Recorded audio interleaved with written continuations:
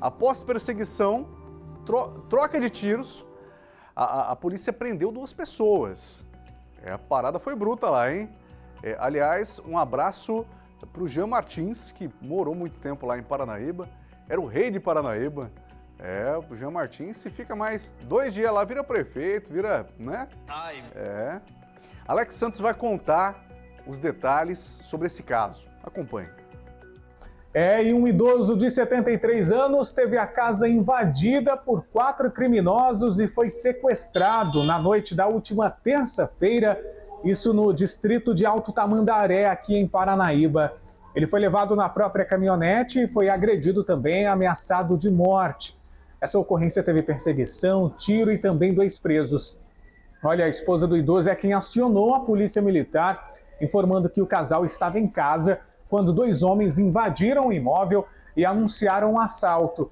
Na sequência, eles pegaram um veículo Toyota Hilux de cor prata, onde colocaram o idoso como refém e fugiram do local. Após receber as informações, a PM seguiu em diligências e encontrou o veículo na Avenida da Saudade. Na fuga, o condutor da caminhonete perdeu o controle da direção e colidiu com a guia da calçada. Neste momento, dois criminosos desceram do veículo com facas, ocasião em que os policiais dispararam com armas de fogo, mas eles conseguiram fugir.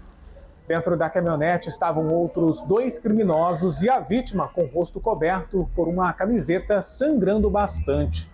O idoso também contou que sofreu ameaças de morte durante o tempo todo e que permaneceu sob poder dos criminosos, sendo que diziam que cortariam a cabeça dele e depois jogariam no mato. No veículo foram encontradas quatro facas, estando três delas na caminhonete e uma delas na cintura de um dos autores. Dessas facas, a vítima reconheceu uma delas que possuía uma bainha e era de seu uso pessoal, mas que os autores teriam roubado também. O idoso tinha cortes profundos no braço e mão. Ele foi levado para uma unidade de saúde aqui da cidade. Os criminosos que conseguiram fugir levaram o cartão do idoso e ainda estão sendo procurados pela polícia.